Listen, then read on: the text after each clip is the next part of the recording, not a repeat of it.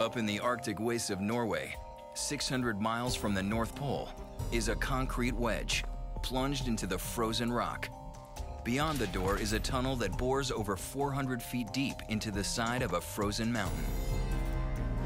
There's four sets of steel doors. You need a certain combination of codes and keys to get in.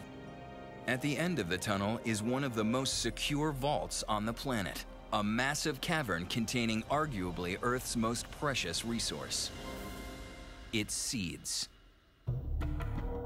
The goal is to gather the unique seeds for every single food crop grown around the world into one secure location. And that's why an international consortium of scientists established the Seed Vault. The Global Seed Vault is the ultimate security net in case something happens. In order to stay fertile, crop seeds must be kept dry and cold. The permafrost keeps the rocks here at minus 4, minus 6 degrees year round. Today, their massive freezers hold 268,000 unique varieties of crops, but they could hold over 4.5 million different seed samples.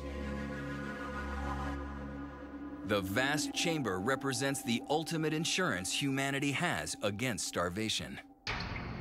The vault's entrance is built to withstand bomb blasts, and because it's 430 feet above sea level, it will remain dry, even if the ice caps melt. If worst comes to worst and there's some kind of cataclysmic event, the Vault can basically run itself without human intervention for a long time, and the seeds would still be safe. Perhaps that's why it's been nicknamed the Doomsday Vault.